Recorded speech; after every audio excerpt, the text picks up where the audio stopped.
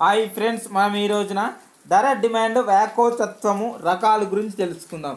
భిన్న వస్తువుల ధర మార్పుల వల్ల భిన్న వస్తువుల డిమాండ్ పరిమాణం భిన్నంగా మార్పుకు గురవుతుంది. అందువల్ల భిన్న వ్యాకోతత్వాలు ఏర్పడతాయి. భిన్న వస్తువులంటే మార్కెట్లో అందుబాటులో ఉన్నటువంటి వివిధ రకాల వస్తువుల సముదాయాన్నే భిన్న వస్తువులని చెప్పడం జరుగుతుంది ఇక్కడ. భిన్న వస్తువుల వ్యాకోతత్వాలు భిన్నంగా ఏర్పాటు కావడానికి కారణము ఆయా వస్తువుల భిన్న స్వభావమే. సాధారణంగా ధర డిమాండ్ వ్యాకోతత్వాన్ని ఐదు రకాలుగా విశ్లేషించవచ్చు. అవి ఏకత్వ వ్యాకోతత్వము percentage delta Q equal to percentage delta P. EP equal to one. సాపేక్ష వ్యాకోతత్వము percentage delta Q greater than percentage delta P. EP greater than one. Anantha వ్యాకోతత్వము percentage delta Q greater than zero percentage delta P equal to zero EP equal to infinity సాపేక్ష అవ్యాకోతత్వము percentage delta Q less than percentage delta P EP less than one శూన్య వ్యాకోతత్వము percentage delta Q equal to zero percentage delta P greater than zero EP equal to జీరోగా ఉండడము జరిగింది. ఇక్కడ ఏకత్వ వ్యాకోసత్వం గురించి మనం తెలుసుకున్నట్లయితే ఏకత్వ వ్యాకోసత్వ demand ఒక వస్తువు ధరలో జరిగే మార్పు ఫలితంగా డిమాండ్ పరిమాణంలో సమాన అనుపాతంలో మార్పు వస్తుంది. ఉదాహరణకు ఇక్కడ మనం గమనించినట్లయితే ధరలో టూ పర్సెంట్ మార్పు వచ్చింది. వచ్చినట్లయితే డిమాండ్ పరిమాణంలో టూ పర్సెంట్ మార్పు సంభవిస్తుంది. కాబట్టి సంభవించింది. కాబట్టి దీని ఏకత్వ ధర డిమాండ్ అంటాం. ఇక్కడ ధర అదేవిధంగా డిమాండ్ కూడా సమానంగా ఉన్నటువంటి సముదాయాన్ని ఏకత్వ వ్యాకోసత్వం అని పిలుస్తాము. అదేవిధంగా సాపేక్ష ధర డిమాండ్ వ్యాకోసత్వం మనం గమనించినట్లయితే సాపేక్ష ధర డిమాండ్ వ్యాకోసత్వాన్ని వ్యాకోసత్వ డిమాండ్ అని కూడా పిలుస్తాము. ఒక వస్తువు ధరలో జరిగే మార్పు. ఎక్కడ జరిగింది ఇక్కడ? ధరలో మార్పు జరిగితే డిమాండ్ పరిమాణంలో అధిక అనుపాతంలో మార్పు జరుగుతుంది కాబట్టి ఇక్కడ సాపేక్ష ధర డిమాండ్ వ్యాకోసత్వం అని పిలుస్తున్నాం. మనం ఇక్కడ ఉదాహరణకు చెప్పుకున్నట్లయితే ధరలో టూ పర్సెంట్ మార్పు జరిగింది ఇక్కడ. అయితే డిమాండ్ పరిమాణంలో నా ఫోర్ పర్సెంట్ మార్పు జరిగింది. అంటే ధరలో వచ్చే టూ పర్సెంట్ ఈ యొక్క డిమాండ్లో టూ పర్సెంట్ కంటే టూ టూ పర్సెంట్ ఎక్కువగా మార్పు సంభవించింది కాబట్టి దీన్ని వ్యాకోత్స డిమాండ్ లేదా సాపేక్ష ధర డిమాండ్ వ్యాకోత్సవం అని పిలుస్తున్నాము. థర్డ్ మనం గమ గమనించినట్లయితే ఇక్కడ సంపూర్ణ ధర డిమాండ్ సంపూర్ణ ధర డిమాండ్ వ్యాకోసత్వము సంపూర్ణ ధర డిమాండ్ వ్యాకోసత్వాన్ని అనంత వ్యాకోసత్వ డిమాండ్ అని కూడా పిలుస్తాము. సంపూర్ణ ధర డిమాండ్ వ్యాకోసత్వాన్ని ఏమని పిలుస్తాము?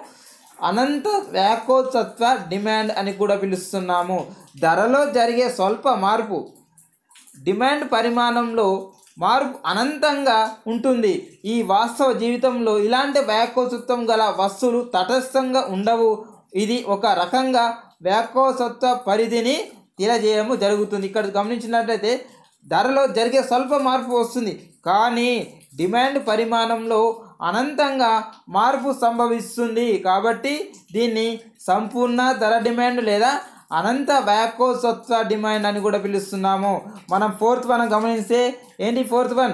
సాపేక్ష ధర డిమాండ్ అవ్యాకోసత్వము. సాపేక్ష ధర డిమాండ్ అవ్యాకోసత్వము. ఒక వస్తువు ధరలో వచ్చే మార్పు ఫలితంగా డిమాండ్ పరిమాణంలో స్వల్ప మార్పు అనంతంగా ఒక- అనంత సారీ స్వల్ప మార్పు అనుపాతంలో వస్తుంది. దీన్నే సాపేక్ష ధర డిమాండ్ అవ్యకోసత్వము లేదా అవ్యకోసత్వ డిమాండ్ అని కూడా అంటాము. ఉదాహరణ మనం చెప్పినట్లయితే ఇక్కడ చూ గమనించండి ఇక పటంలో ధరలో టూ పర్సెంట్ మార్పు వచ్చినప్పుడు డిమాండ్ పరిమాణంలో వన్ పర్సెంట్ మార్పు కన్- మార్పు వన్ పర్సెంట్ మార్పు వస్తే దాన్ని అవ్యకోసత్వ డిమాండ్ అంటాం. ఇక్కడ చూడండి ధరలో టూ పర్సెంట్ వచ్చింది.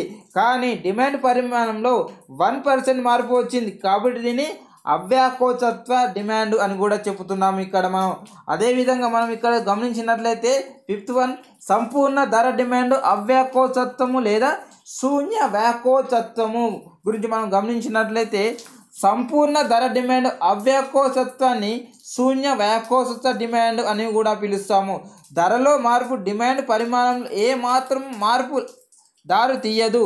ఉదాహరణకు ధరలో టూ పర్సెంట్ మార్పు జరిగితే డిమాండ్ పరిమాణంలో కూడా మార్పు శూన్యంగా ఉంటుంది కాబట్టి దీన్ని శూన్య వ్యాకోసత్వ డిమాండ్ అని పిలుస్తాము. మనం ఒకసారి గమనించినట్లయితే ఫస్ట్ వన్ ఏంది?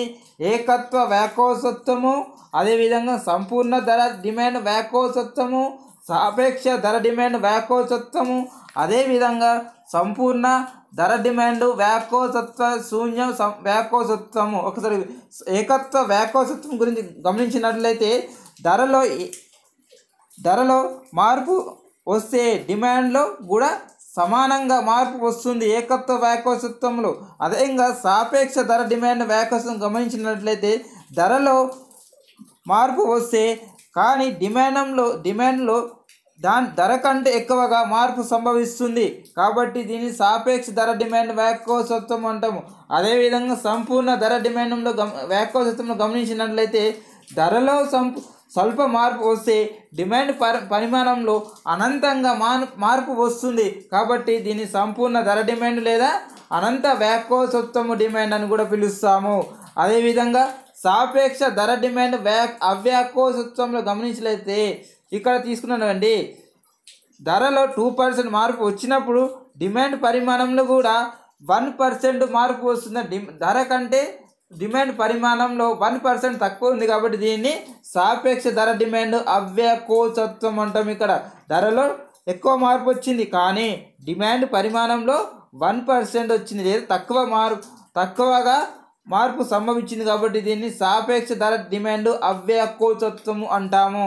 అదేవిధంగా మనం ఫిఫ్త్ వన్ సంపూర్ణ ధర డిమాండ్ వ్యాకోసత్వము అవ్యా సారీ అవ్యాకోసత్వం గమనించినట్లయితే శూన్య వ్యాకోత్సవం అని కూడా అంటాం. దీని శూన్య అవ్యాకోచత్వం అని కూడా పిలుస్తాము. అయితే ఇక్కడ చూడండి ధరలో కానీ డిమాండ్లో కానీ ఎలాంటి మార్పు సంభవించవు. కాబట్టి దీన్ని సంపూర్ణ ధర డిమాండ్ లేదా స- అని కూడా పిలుస్తాము. సంపూర్ణ ధర డిమాండ్ అవ్యాకోచత్వము లేదా శూన్య అవ్యా స- శూన్య వ్యాకోచత్వం అని కూడా పిలుస్తుంటాము మనము.